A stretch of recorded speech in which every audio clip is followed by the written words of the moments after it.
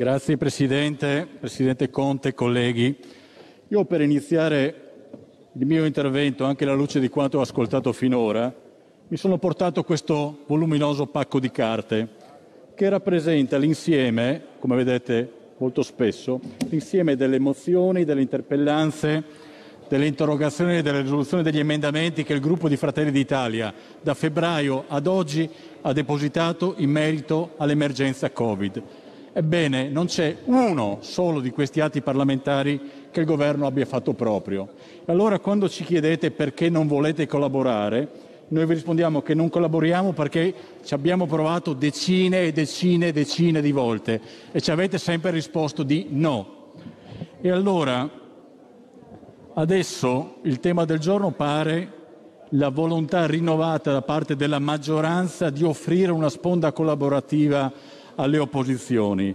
Ebbene, noi riteniamo che questa proposta sia assolutamente tardiva, assolutamente insincera e assolutamente strumentale, perché sono i fatti a dimostrarlo. Adesso che i danni sono stati fatti, adesso che i mesi sono trascorsi sprecandoli, adesso vi accorgete che esiste un'opposizione che rappresenta almeno il 50% dei cittadini. Un po' troppo tardi, Presidente Conte, ma ritorneremo su questo argomento. Vorrei anche dire a lei e a chi ci ascolta anche da casa il Presidente è impegnato a parlare con il Ministro D'Inca, evidentemente questo è lo spirito della collaborazione che il Presidente interpreta nei confronti delle opposizioni, ma non importa, noi andiamo avanti perché qualcuno comunque ci ascolta. Le dicevo che la preoccupazione che noi abbiamo quando intervengo io e quando intervengono i colleghi del gruppo Fratelli d'Italia è quello di capire se le parole che utilizzeremo sono in grado di esprimere appieno, adeguatamente la paura, i pensieri, le emozioni dei nostri elettori e cittadini che ci votano, che ci guardano, perché siamo stati in questi giorni, in questi ultimi giorni, anche noi nei nostri collegi elettorali, nei nostri territori, nelle nostre regioni, e le voglio dire con estrema sincerità, Presidente, che nonostante il clima drammatico che viviamo in questi giorni anche in quest'Aula, nonostante la gravità del momento, il linguaggio che noi dovremmo adoperare è il linguaggio della rabbia e della indignazione, perché è quello che si respira nelle piazze italiane, in quelle piazze ordinate e assolutamente pacifiche che hanno visto decine e decine di migliaia di persone per bene sfilare. Io ho ascoltato, io ho visto con i miei occhi accenti di vera paura, di vero sconforto e di disperazione. Ho visto un ristoratore che ha chiesto a me di far presente a lei se era possibile avere speranza per se stesso, per la propria famiglia, per la propria impresa, per i propri dipendenti. Perché vede, Presidente, c'è un accento nuovo nella disperazione di questi giorni ed è un accento che nasce dal sentimento di una fiducia tradita. Perché lei che si è autodefinito l'avvocato del popolo italiano, non più di dieci giorni fa ha detto agli imprenditori del commercio, della ristorazione, ai gestori delle palestre, ai gestori delle piscine, a moltissimi altri, ci sono dei protocolli da rispettare, questi protocolli saranno sempre più severi, se non li rispettate dovrete chiudere. E questi imprenditori hanno investito soldi e denari, hanno rispettato al millimetro le sue prescrizioni e poi una mattina, pochi giorni dopo, si sono svegliati con la bella notizia che dovevano immediatamente chiudere. E allora lei, Presidente, capisce, come capisco io, che se una volta la gente le ha creduto, la seconda volta non le crederà più. Non le crederà più. E quello che serpeggia tra i cittadini è una sorta di disperazione sociale che nasce dalla constatazione che essere ligi al dovere, essere corretti, essere seri, essere onesti non paga, non paga con questo governo, perché i sacrifici si accettano se sono utili e ne abbiamo fatti tanti, ma se, se i sacrifici non sono utili quello non è più un sacrificio, quella è una ingiustizia. E voi di ingiustizie purtroppo ne avete perpetrate molte ai danni degli italiani in questi mesi, che non sono più disponibili, come avveniva peraltro a marzo, ad aprile, a maggio, a tollerare i vostri errori, perché queste persone sono convinte che la situazione in cui viviamo doveva essere gestita in maniera migliore e più adeguata alla gravità delle scelte e non vuole pagare per gli errori che voi avete commesso. In quelle piazze, Presidente, ma non solo nelle piazze, un po' ovunque, incontrando le persone, io incontro non garantiti che non chiedono innanzitutto il rimborso delle loro spese, l'indennizzo delle loro spese, chiedono semplicemente di poter continuare a lavorare in legalità e in sicurezza e spetta al governo stabilire quali sono i criteri di legalità e di sicurezza, di stabilirli una volta per sempre. E se dobbiamo parlare di rimborsi, visto che il collega di Italia Viva ha appena fatto cenno allo spirito che l'opposizione dovrebbe accogliere di collaborazione, allora incominciamo subito, apro questa parentesi, a stabilire che i 5 miliardi che avete allocato per il decreto rimborsi sono assolutamente insufficienti. Su questo vogliamo dire una parola definitiva, Presidente Conte? C'è la volontà da parte del Governo di prendere atto che queste risorse non bastano? Incominciamo da qua il confronto tra maggioranza e opposizione, non dalle belle parole che lasciano il tempo che trovano.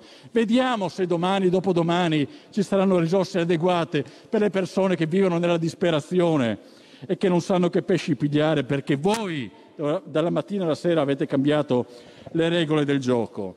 E questo glielo dico perché voi comprendete, come comprendiamo noi, che in questo momento la politica, soprattutto la vostra politica, non ha più l'autorevolezza per chiedere sacrifici e rinunce, non siete credibili, non lo siete più.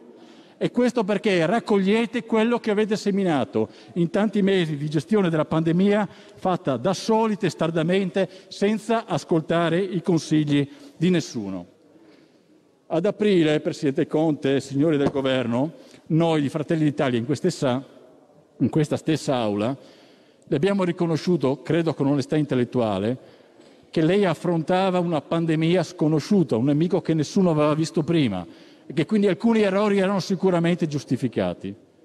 Però le avevamo anche chiesto un piano nazionale delle emergenze, come fanno tutti i paesi seri in questo mondo. Invece voi avete fatto esattamente il contrario. Avete incominciato demolendo la protezione civile. Non c'è più la protezione civile, c'è un signore commissario straordinario che nessuno ha capito che competenze abbia in materia di emergenze, sicuramente conosce molto bene le segreterie politiche dei partiti di centrosinistra, i risultati li abbiamo visti. Il piano di, prote- il piano di emergenza nazionale serviva a realizzare alcune cose semplici e necessarie. Innanzitutto, glielo dico ancora una volta, a stabilire che c'è uno solo che comanda, uno e uno solo, uno che parla, uno e uno solo, non il carnevale che abbiamo vissuto in questi mesi e in queste settimane in cui tutti parlavano, nessuno ascoltava, tutti comandavano, nessuno obbediva, tutto si annuncia e niente accade. È il caos e talvolta anche la fiera delle vanità, per cui abbiamo assistito alla classe dirigente di questo Paese, non solo politica in verità, che ha approfittato della pandemia e del Covid per ritagliarsi un pezzettino di notorietà a poco prezzo e invece di preoccuparsi ognuno per la propria responsabilità di evitare che la macchina andasse a sbattere. E ancora, in replica a quanto sentito da parte di alcuni esponenti della maggioranza, ci dicono, beh, le opposizioni, beh, però anche l'Europa nel suo complesso. Incominciamo a dire innanzitutto che se pensiamo di salvare il nostro paese guardando i guai dei nostri vicini di casa, noi non andiamo lontano, anche perché quei paesi sfortunatamente per noi hanno condizioni economiche che noi ci sogniamo. Le opposizioni hanno fatto il loro dovere, hanno fatto il loro mestiere e credo che l'abbiano fatto anche bene ma a Palazzo Chigi non c'erano le opposizioni, non c'erano le opposizioni nella protezione civile, al Ministero della Salute, all'Istituto Superiore della Sanità, del Comitato Tecnico e Scientifico, nella struttura commissariale. C'erano i suoi uomini, Presidente Conte, c'erano i suoi ministri. E lei da gennaio, dal 29 gennaio per l'esattezza, ha chiesto, ha preteso e ha ottenuto dal Parlamento un decreto per avere lo stato di emergenza e poteri straordinari E allora, Presidente, quando si invocano e si ottengono pieni poteri, da pieni poteri piene e totali responsabilità che lei non può scaricare sulle spalle di nessuno, perché appartengono integralmente a lei e al suo governo. E allora in questa situazione difficile, complicata, drammatica, che noi sappiamo riconoscere per la gravità che ha, le vogliamo dire apertamente, apertamente il nostro giudizio. Noi riteniamo che lei abbia fallito.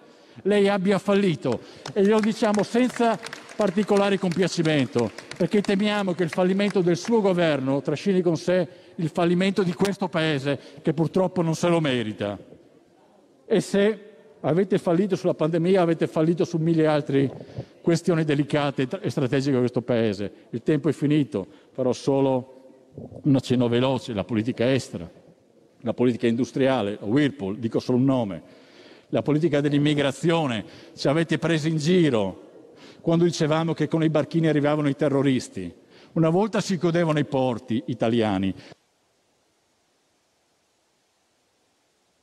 Ne sono di nascosti nelle nostre città, ma pare che questo non turbi particolarmente la ministra Lamorgese, che sembra occupata a fare altro. E concludo ripartendo dall'inizio, ripartendo da questo pacco voluminoso di nostre proposte sempre rimaste inascoltate.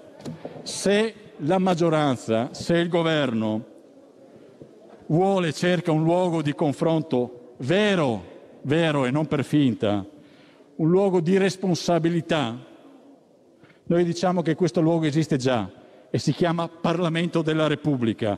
Qui siamo, qui ci troverete ancora con le nostre proposte per il bene dell'Italia senza chiedere nulla in cambio.